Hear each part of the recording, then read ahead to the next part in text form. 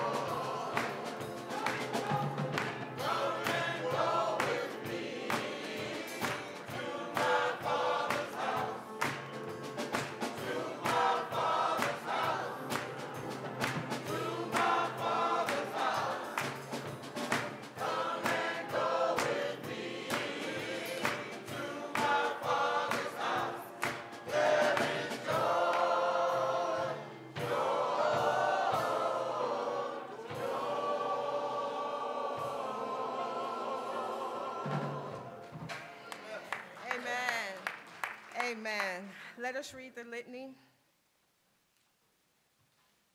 And we will be reading the first portion of this litany.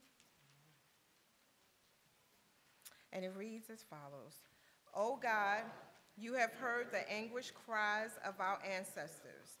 Their sounds echo and penetrate time to remind us of our foreparents who were brutally captured and forcefully enslaved as they left the peaceful womb of their African homeland. Stony the ride we trod. O God, you have seen the millions of dog bodies buried beneath the tumultuous waves of the deep. Men and women who held the seeds of greatness. You have seen women's dreams for a united family vanish as they were sold at auction blocks.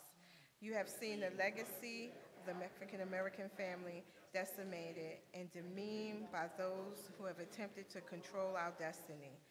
Bitter the chastening rod, felt in the days when hope unborn had died. Oh God, you have ignited the sparks within us into a blazing demand for freedom, equality, and justice. This quest caused Harriet Tubman sleepless nights as she led her people to freedom. It was an equality that Rosa Parks and civil rights activists fought for and gave their lives for. It was a justice that Martin Luther King Jr. stood for as thousands stood with him at the Lincoln Memorial. Yet, with a steady beat, have not our weary feet come to the place for which our fathers sighed. O oh God, you have seen our tears. You have been pained by the evil of human hearts, yet you love humanity enough that you sent your only son to identify with the outcast, marginalized, and rejected.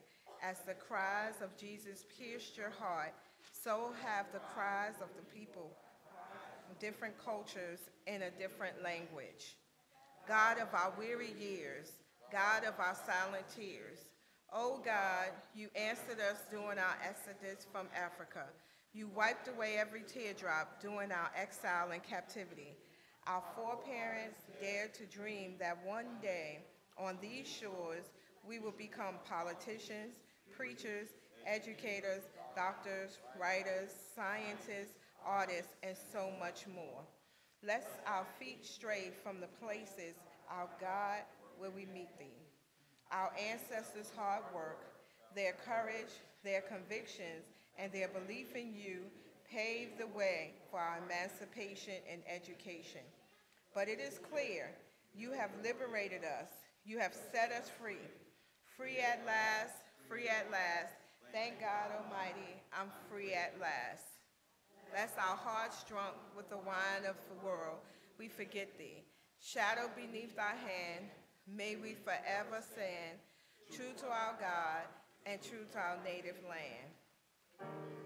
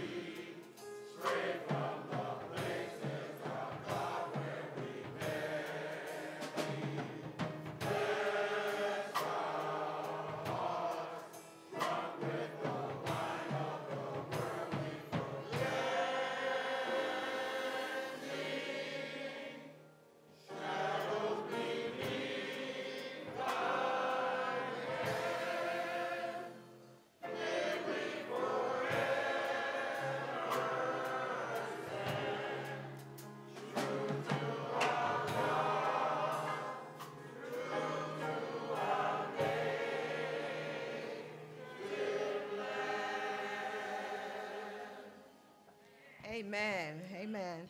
We will now have the reading of the Holy Record by Sister Shirley Hill, followed by the morning prayer with Sister Sherrie Campbell.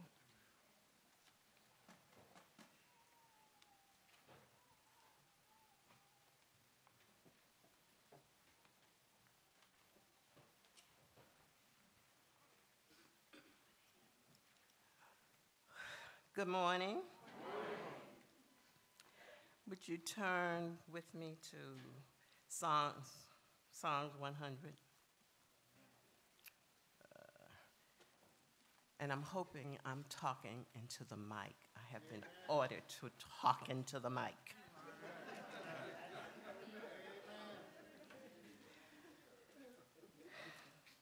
Make, make a joyful noise unto the Lord, all ye lands. Serve the Lord with gladness. Come before his presence with singing. Know ye that the Lord, he is God. It is he that has made us, and not we ourselves. We are his people and the sheep of his pasture. Enter his into the gates with thanksgiving and unto his courts with praise. Be thankful unto him and bless his name. For the Lord is good, his mercy is everlasting, and his truth endureth to all generations. For the Lord is good, his mercy is everlasting and his truth endureth to all generations. May the word, God's word for God's people.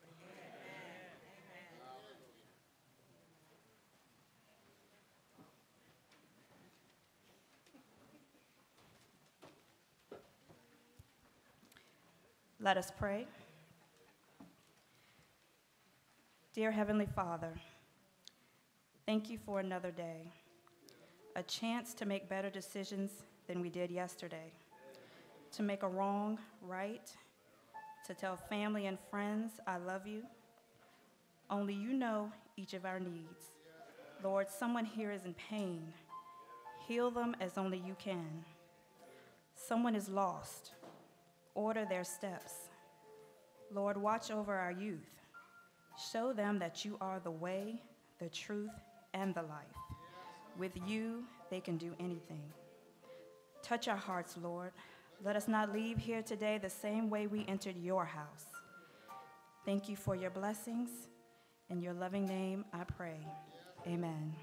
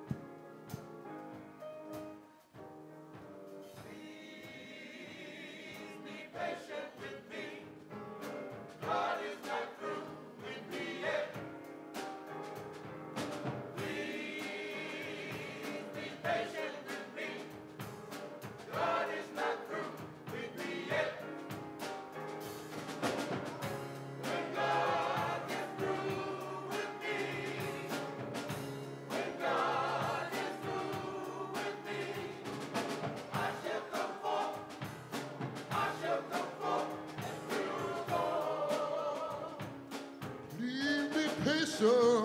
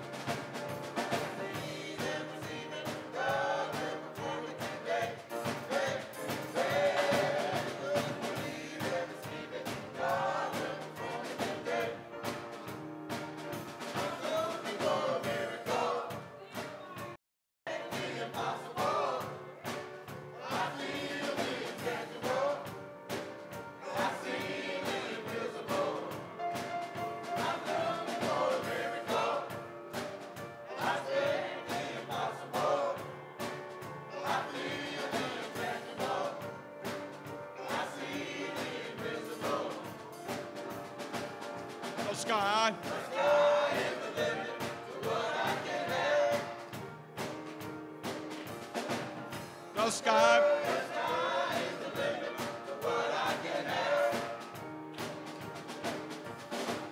The sky.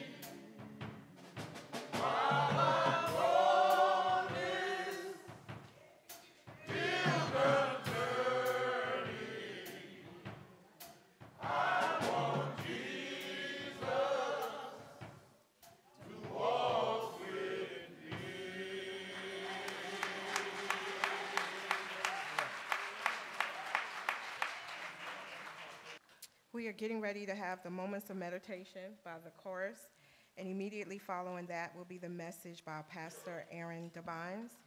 At this time, let us prepare our hearts and minds that we pray with him and pray for him, and that we pray that through this word that our lives are changed, that we're delivered from some things, that some people are set free, and that somebody is saved today. Amen. Amen.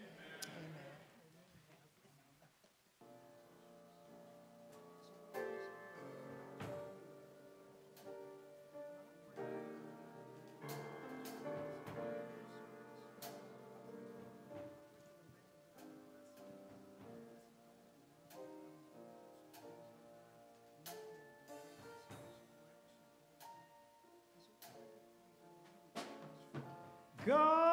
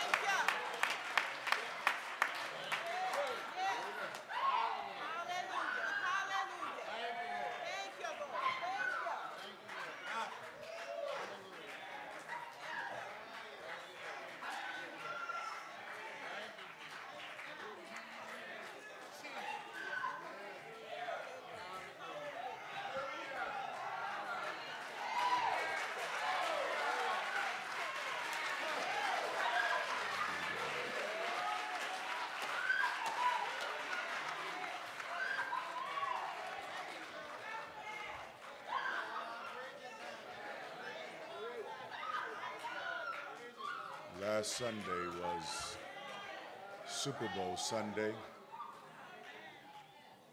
It's a very busy day. Most of us, many of us watched it or we followed the results.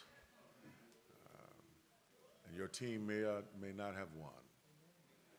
Mine didn't.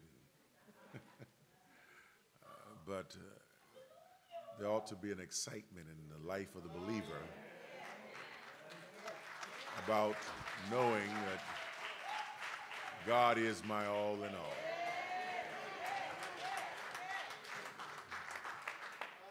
Is that your testimony today? You know, there are some people who have deemed that there is no God. The Bible has a name for them. Uh, but if you have a watch on, or even the clothes that you have on, even if you made them yourself, your clothes have a label in them, or at least they have a maker. Amen. And if your watch, if your clothes, if your automobile has a maker and a manufacturer, it is my faith belief that Genesis 1 and 1 for me is irrefutable. In the beginning, God. I don't believe that all that we see is by mere happenstance. I believe that the Word of God is true. God did it. And God is my all in all. And I'm thankful that in 2015, even in the month of February, that there, there are some people uh, who are not uh, so erudite and so sophisticated and so intelligent in their own thinking and mind they have deemed that there is no God. I'm glad that folks still gather at 801 Sophia Street to declare, My God is real. I believe if I were to poll the room, there are some people who would testify that I was in something.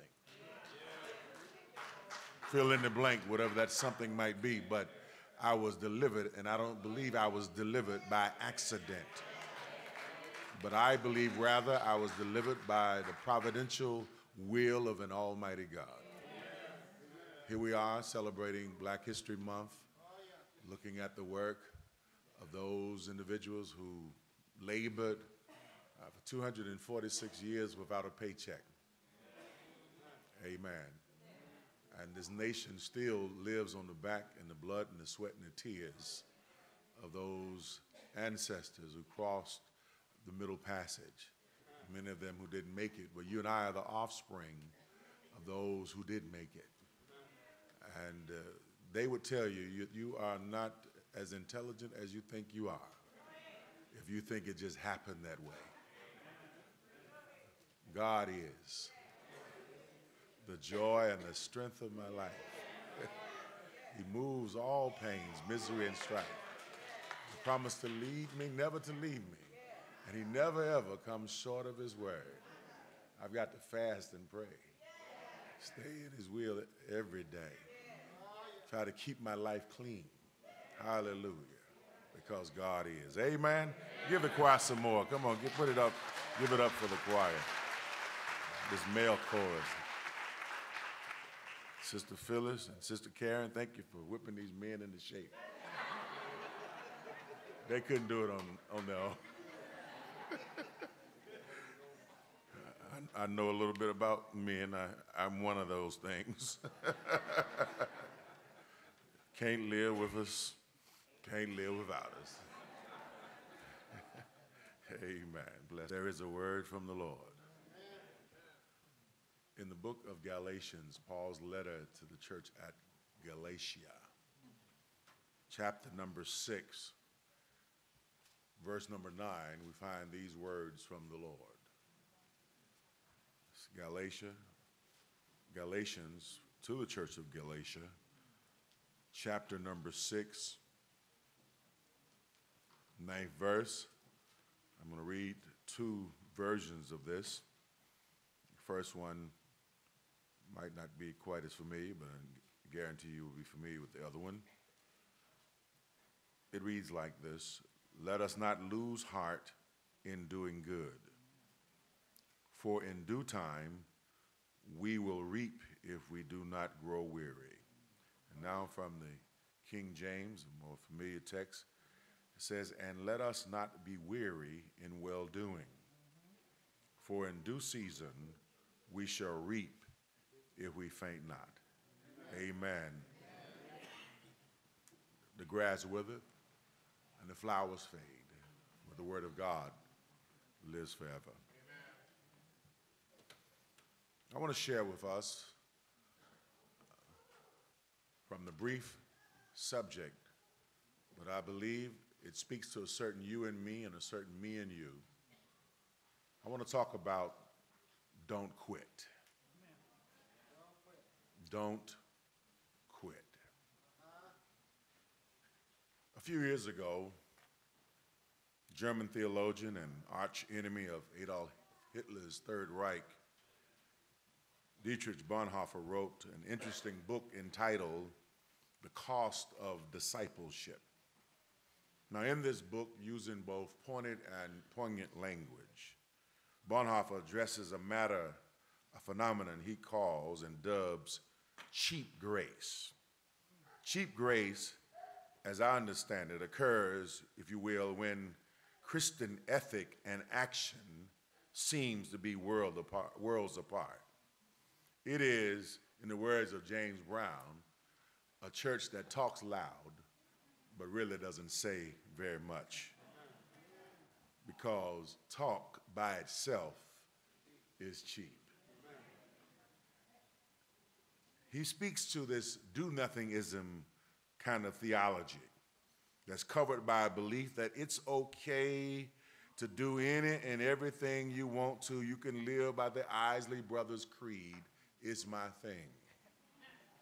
After all, Jesus paid it all at Calvary, so what else is there for me to do? But Bonhoeffer refutes such notion and calls for Christians to act in the world to do something, to authenticate their religion so as to move from lip service, from rhetoric, from pomp and circumstance, to being an active agent, a viable representative of our Christ in this world.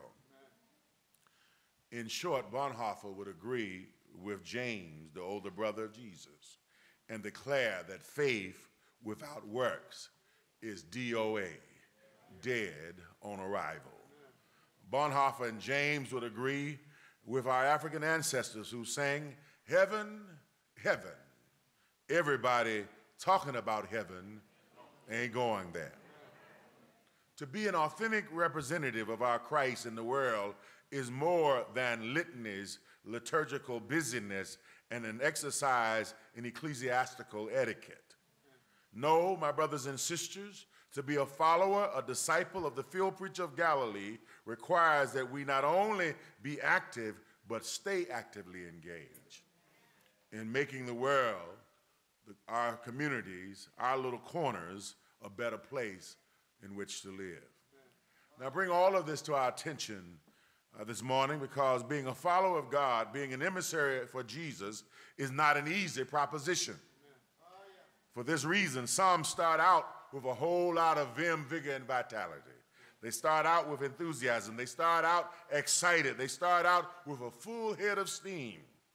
But later on, they find out that following Jesus requires some blood, sweat, and tears. And it becomes necessary that you put some skin in the game if you're going to be a follower of our Christ. That's why I love the example of Mom Todd, who we funeralized on yesterday. And I'm, i want to say, after preaching for 37 years, since I was 15 years of age, I, I enjoyed yesterday's celebration. A woman used of God to make her community a better place for nearly 102 years, and the place was packed. Amen. Because people wanted to gather to give homage to this woman who had dedicated her life. And Fredericksburg is a better place. Shiloh is a better place. And that's what ought to be said whenever your day comes. And whether you know it or not, your day is coming. You do know that. grave space is reserved for all of us. And that reservation is without the privilege of cancellation. You got to leave here. You got to leave here one day. Shifting gears just a little bit, there's a story of a young boy who was born and grew up in the rough and tumble streets of Panama. And in order to survive, this boy learned how to fight just to make it. And he learned quite well. And at the tender age of 16, he turned professional. He was nearly unbeatable. He was seemingly invincible. And for the most part of his career, he won 72 fights and only lost one. He was relentless. He pressured his opponents. He pounded his opponents. He mauled his way to the top, and he gained many victories. Yet the person of whom I speak is not remembered firstly as the true champion that he was. And I will be the first to admit that it's not quite fair. But when you call the name Roberto Duran, the first thing that comes to mind for many of us is that infamous second fight with Sugar Ray Leonard in November of 1980, where in the eighth round, uh, uh, in the eighth round, this man who was a champion among champions, considered pound for pound to be one of the best fighters to ever put on gloves and step inside a ring. But on that night, Roberto Duran whispered to the referee, but it was shouted across the globe, no mas, which is translated, no more, I quit, I surrender, I'm throwing in the towel, it's over, good night, Irene. but if you and I would be honest, if we would be transparent and candid, there's a little bit of Roberto Duran in all of us. We can identify with him. For in our text, Paul, the tent maker from Tarsus, in a letter to the church of Galatia, was concerned about defections, about the early Christians who said no mas. When they heard about the lions, they heard about the fires, they heard about Nero and all of his insanity, they, many of them said no mas. And they sent in their resignations. They went AWOL and they stepped away from Christianity. And in an attempt to encourage the young church, and in an attempt to stymie the resignations and defections, Paul reminds them that the path to Christian victory is not easy. But hanging in there and not throwing in the towel, not sending up the white flag, he tells them is worth hanging in there. Paul agrees with the great song of the faith that says, serving the Lord will pay off after a while. See, God's time is not our time. God does not work by tick-tock time. You can't say on a certain date, circle it on your calendar, this is when my deliverance is coming. So there's tick-tock time, which is chronos time, and then there's kairos time. Kairos time, really, the simple definition is when God gets ready. And there's some things in your life that you've been petitioning God to do for you and on your behalf. And God says, I'm not ready yet. But I like the line of that song that the choir just sang when God gets through with me. When God gets ready, when, when Chronos and Kairos come together, when tick-tock time meets God's time, God will move on your behalf. There ought to be at least one witness in this room. Serving the Lord will pay off after a while, but the reality is, on this journey, you will get tired. Uh-huh. Anybody who says they don't get tired, it's evidence to me that you're not doing anything. But if you're working in the kingdom, and if you're working with church folk, you will, underscore, will get tired. Some folk will make you tired. Some people have a spiritual, vampiric kind of uh, uh, existence where even when you get around them, you feel a little drained. People can be mean sometimes. People can be low down and dirty sometimes people can, can have such a, a, a bad attitude and be in, ungrateful in their demeanor and ambivalent. You can do the best that you can and they won't even move. They'll frown at you. That's why the song says, if when you give the best of your service, telling the world the Savior come, be not dismayed when men don't believe you. When men and women sit around like and say, oh, whatever. But he'll understand. And he'll say, well done. Unless, unless it is that you're working for the applause and the appreciation and the platitudes of people. And the Lord says there's a caveat, there's a place for that. Then you have your reward. People will give you their accolades and they'll pat you on the back, but that's all you got. The question then becomes are you more concerned about pleasing God who has eternity in his hands, or are you more concerned about what folks say? The song says serving the Lord will pay off after a while, not, not people. Do I have a witness? Sometimes, again, I say people can be unkind. They'll minimize your accomplishments and maximize and magnify your faults, flaws, and failings as if they themselves don't have them. And when you deal with this, trying to be the best you can in the service of the Lord, in the words of Marvin Gaye, it's enough to make you want to holler and throw up both your hands. It's enough to make you want to pull a Jeremiah. You remember Jeremiah, aka the weeping prophet, who got tired, sick and tired, and gave his resignation, shut his Bible, closed his hymn book, and said, I'm through. No, he said, I'm through.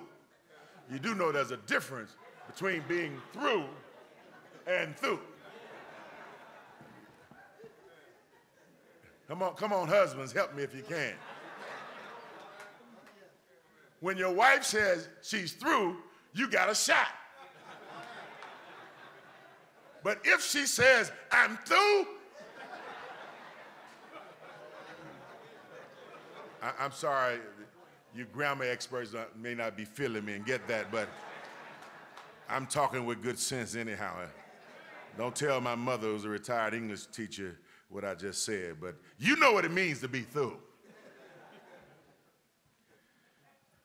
But then, as I understand it, Jeremiah, brothers and sisters, started to think of the goodness of the Lord. Think about what he had and, what he, and not what he didn't have. Can I speak to somebody today who's concentrating on your deficits rather than singling in and, and, and looking at your assets? Why are you always talking about what you don't have? Count your blessings. Name them.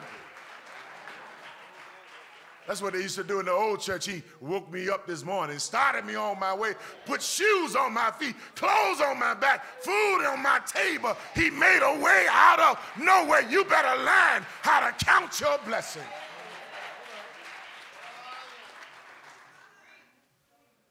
Jeremiah had given his resignation, but he started getting a little warm, fuzzy feeling on the inside.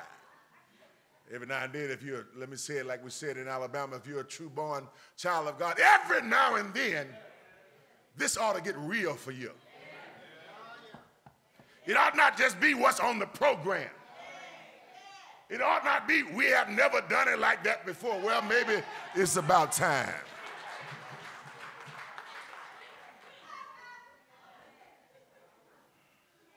Jeremiah started to feel warm on the inside as he thought of the goodness of the Lord and all that the Lord had done for him, brothers and sisters.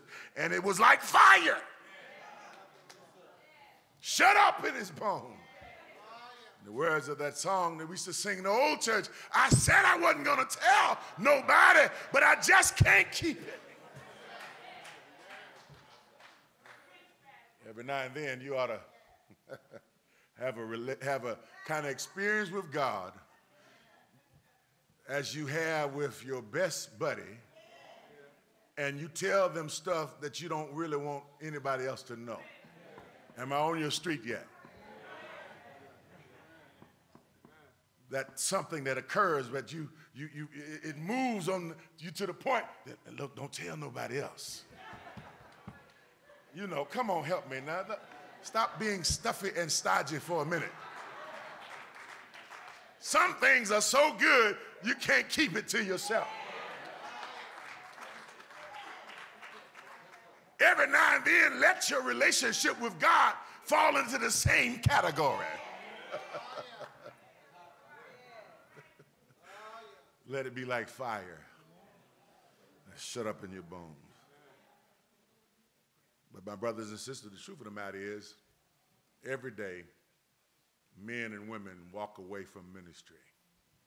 Every day they walk away from church. They say, I've had enough. I'm, I'm tired of going to uh, the theater of religion. I got to be somewhere where you can be real. And there's a book and a, and, a, and a video that I commend to you. It's called Clergy Killers. And you hear about people, the, like clergy and people who work closely in the church who are dying with stress and heart attacks and, and, and all kinds of things like that because people are sometimes relentless and mean and low and of low moral code. So they walk away. But Paul says, I understand. I understand your propensity to want to get into your comfort zone and get away, and you'd rather be on a beach somewhere. But that's not the real world. So he says to them, Don't be weary in well doing. Don't lose heart. Don't take your eyes off the prize, and don't let your enemies steal your joy.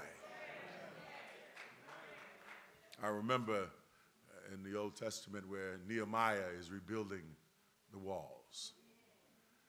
Now, they didn't help him, but they came to him to stop him. But isn't that just like people? You, you're committed to a task, doing the best you can, and they don't offer one finger to help or assist, but they come to you with all of their prognosis about what they would and would not do if they were you. Paul says, don't be weary in well doing. But in other words, Paul was just simply saying, don't quit. Don't let those folk push you into a corner and make you, in the words of my ancestors in Alabama, lose your religion. Sometimes we wouldn't lose our religion. We say, they'll make me put my religion on a shelf. You all ever heard that? That means you better watch out because I'm, I know in Christ we're a new creature and old things are passed away, but I'm putting on my old clothes. Come on, help me, somebody. I, I believe there's some folks in here who, who, who don't, don't only they don't only just own a tuxedo or a long dress. You got some old clothes. Oh, oh, oh God, have mercy. You know. Uh, stop shucking and jiving. Come on, I know you by now. You got some old clothes. Look, let me tell you what. If somebody come and mess with your babies or your grandbabies, you will go into the closet. Can we be real for a minute? you know where it's hanging up. You don't wear it that often, but you know. Uh, you move from your old house, but you still got your old clothes. Just in case. Paul tells the Galatians and those of us here at Shiloh today, I know it's hard. I know it's hard doing good sometimes and not being appreciated, undervalued, but it's a good thing, and it's a good thing to do good all the time. Because uh, there's a Mexican proverb that says, they, they buried us. They buried us with their meanness, with their nastiness. But they forgot that we were seeds.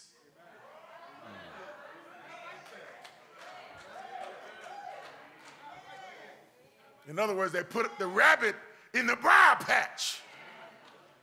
That's why, that's why Maya says, You write me down in history of your twisted lies and all of that. But I'm going to rise because I'm made like that. I woke up like that. That's the way he put me together. Don't you allow people to lower your divine standards of what God has set for you to be and to become. Uh, you're going somewhere.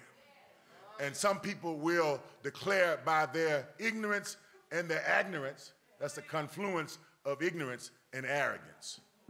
You know, not only are they ignorant, they're arrogant with it. I don't know and I don't want to know. And there's some people like that, and you got to learn to leave them behind. But you cannot allow the haters and their negativity to prevent you from being what God wants you to be and doing what God wants you to do. You only have a certain amount of time. And you wasted enough, if you're like me, trying to be diplomatic with people who, who refuse to be uh, used and coerced by the instruments of diplomacy.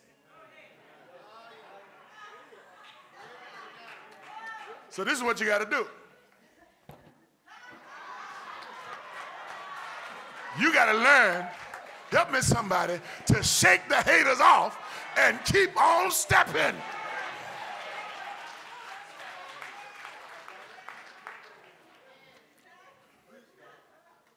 Don't be weary. Don't, don't, don't, don't, don't quit. Don't be, don't give in to your moments. Everybody's gonna have a bad hair day.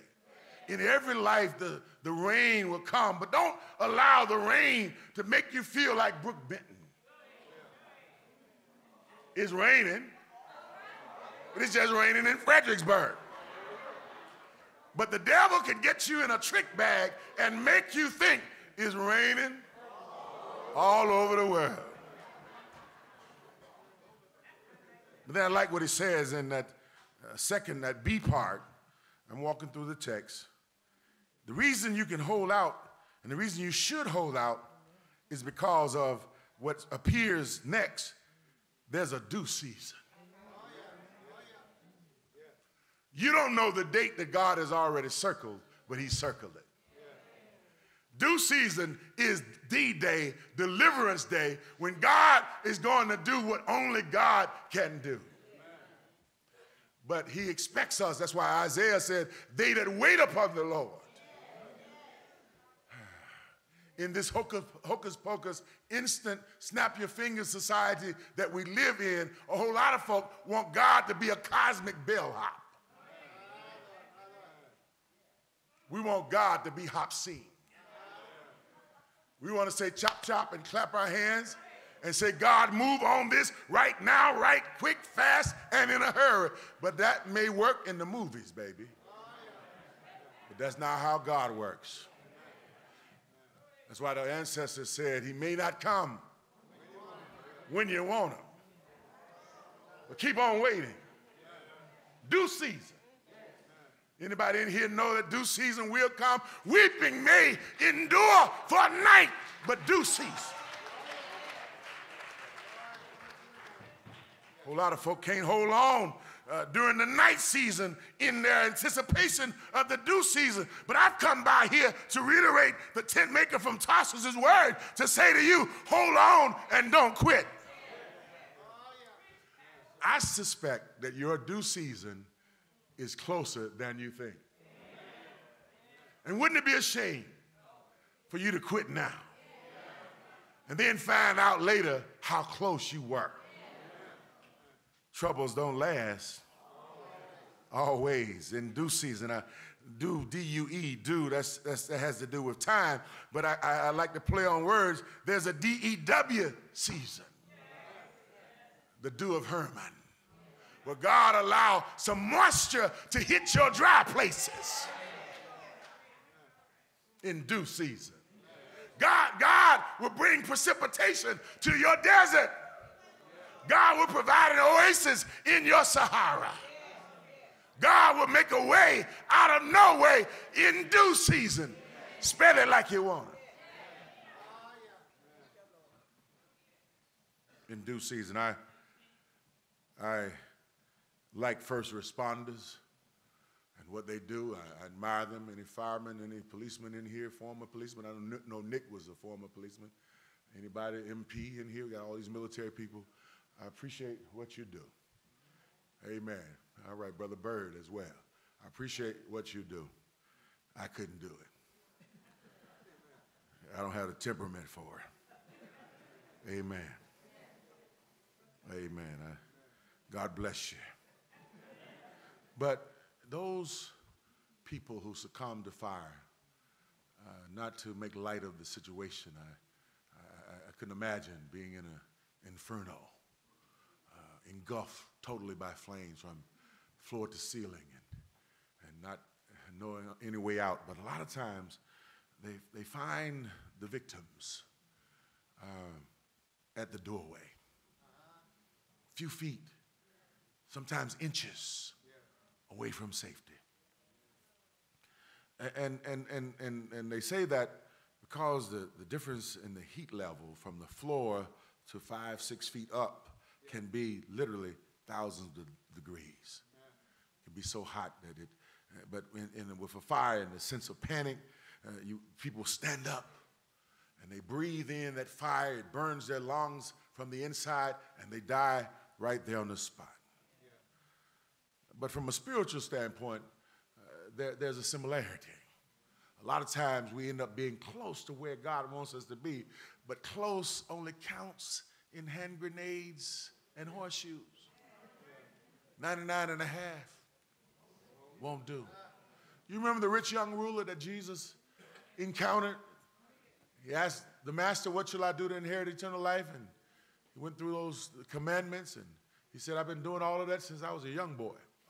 I've got all of that taken care of, dotted every I, crossed every T. But Jesus said, You lack something. A lot of times it's not 15, 20 things, it's just that one thing. What is that one thing in your life that God still wants to tweak? What is that one area of your life that you have tried to keep hidden from God?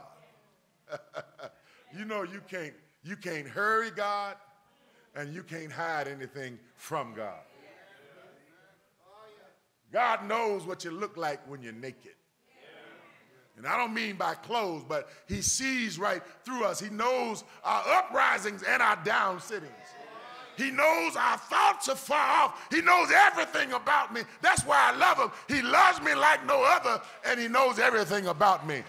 Uh, if we were at the uh, uh, um, one of these talk shows and they have these cue cards, I would say shout now.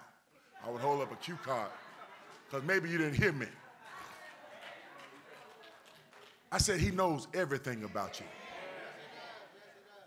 Thank you, Sister Montgomery. Wave your hand in the air and wave it like you just, he knows everything about me. Everything I've done. Lord Jesus, that woman sitting there would leave me if she knew everything I'd done. Y'all put me out if y'all knew everything I'd done. And I wouldn't want to preach to you if I knew everything you had done.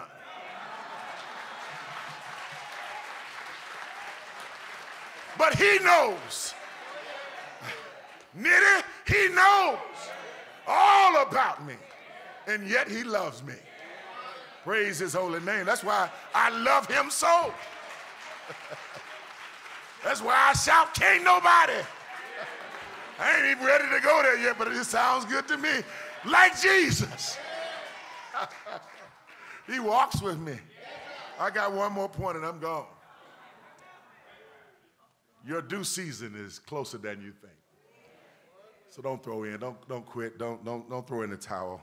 Don't surrender now. You're closer than you think. Ah. My third point comes right from the text. Paul says to the Galatians and to us, You will, we will reap a reward. You will reap a reward. Will reap. Not maybe. Now I'm from Alabama and I'm a little slow. But when I used to first get those emails from Nigeria, oh, you got them too, huh? and said, You got $10 million. Just send us $200 and all your information. I didn't send it, but I was hyped about it at first. I was spending money, you know how you do on Saturday night before the Powerball numbers come off. Thank you, Mavis. now, let me just ask you this. Don't, don't answer. When you play make like and make believe with the Powerball numbers, do you tie to the church too?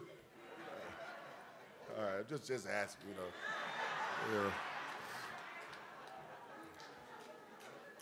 And do you give anything to your pastor? If I were you, I would.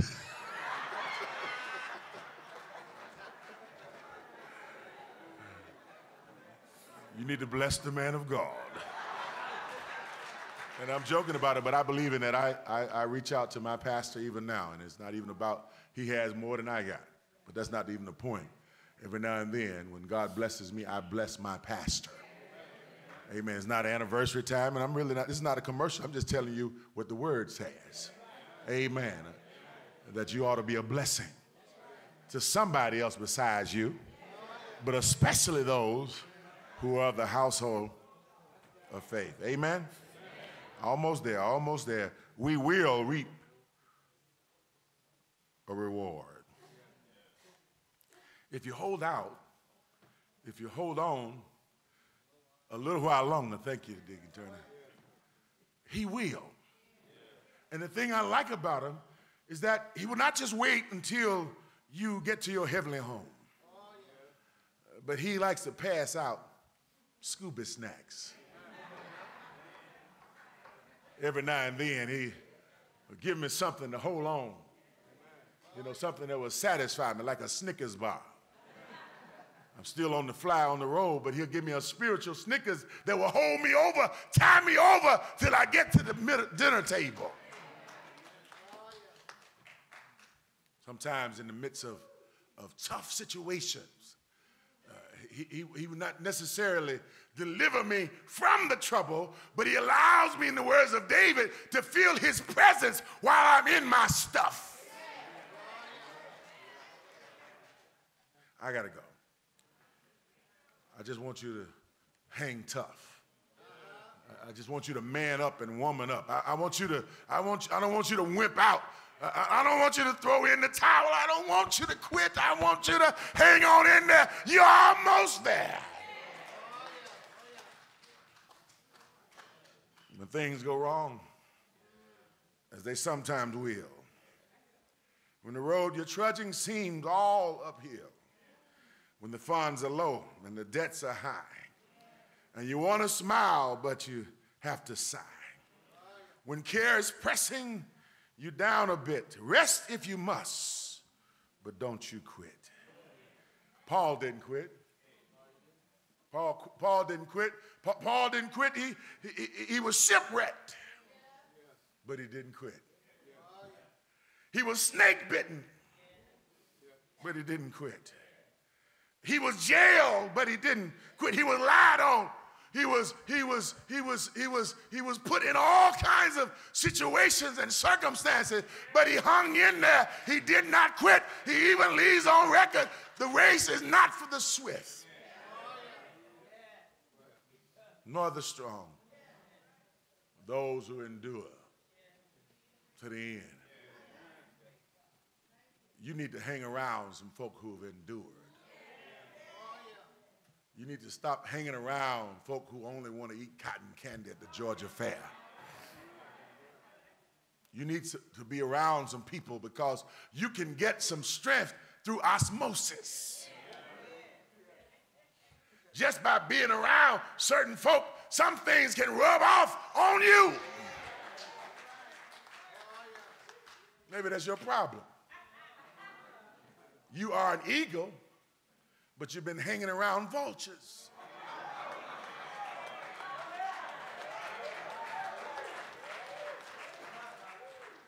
And God can't bring it out of you till you change your company. only two things can happen. You can, you can, you can, as an eagle, change those vultures into eagles. But those vultures can take your eagleness away one of them. You got to hold on. I don't know what you're going through, but God sent me with this message for you. This is This is the Lord's letter, not just to Galatia, not just to Shiloh old site, but to you. It's got your address on it. It's got your email. It's been, he hit sin and told me to say it because somebody in here is on the verge. Somebody in here is on the edge of your seat. You're, about, you're almost, to, almost ready to lose your mind up in here, up in here. But the Lord sent me by to tell me and you to hold on. Uh, just a little while longer. I got to leave you a reason Paul could say, hold on. And I thank God as we celebrate Black History this month, your grandma, your big mama held on. If you knew what she had to go through to put you through Virginia State, to put you through Virginia Union, to put you through Elizabeth City, to put you through the places that you've been and standing on her shoulders. Mm you would see her in a whole different light. But she didn't raise a fool and she didn't raise a wimp. So why is it that you you're always complaining every time a little molehill comes your way? He's trying to make you, in the words of Marvin Sapp, stronger, wiser, and better. and you're resisting because you're giving over to a wimpy attitude, but you've got to learn to say the trouble, bring it.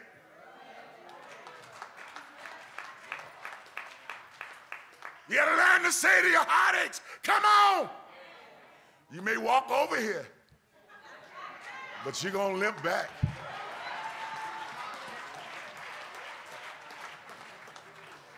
You got to learn to say, you, you just looking at me, but I'm not by myself, for he walks with me.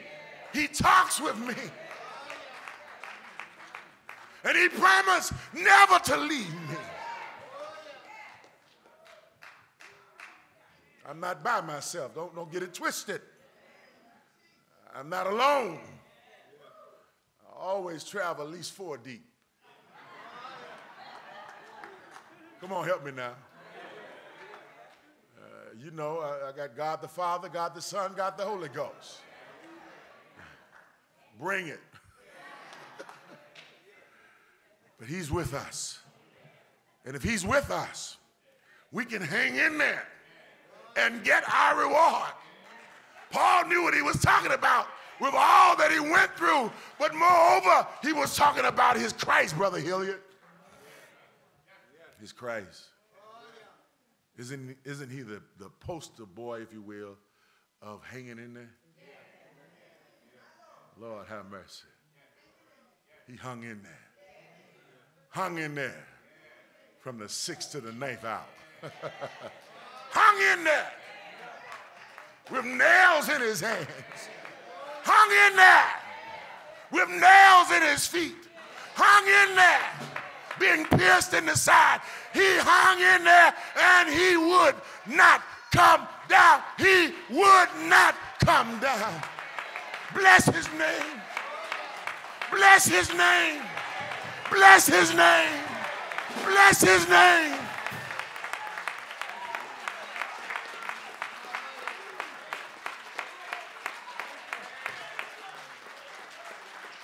The door is open. Maybe there's somebody today. The Lord is moving on your heart. The Lord is knocking on the door of your heart saying, You're not alone in what you're facing. He's saying, I got your back. I got you. I hear you saying, Reverend, you don't know what I'm dealing with. I don't care what it is you're facing. He's bigger than all of that. Come on, sir. Come on, my brother. Come on, my brother. Praise the name of the Lord. Put your hands together. Thank you, man. To God be the glory. To God be the glory. Oh, me, my brother. Ready to go with you. Yes. There's room, I tell you. There's plenty good room.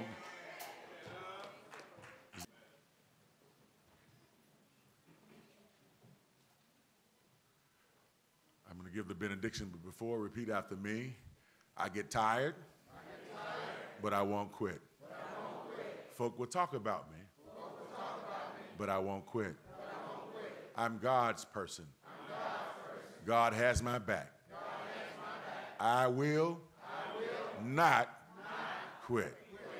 Receive the benediction now unto him who's able to keep us from falling.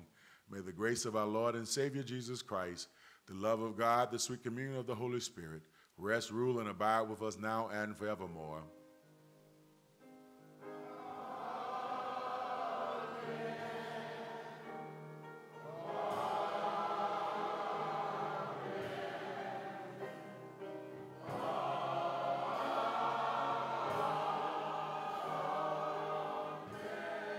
God bless you. Go in peace.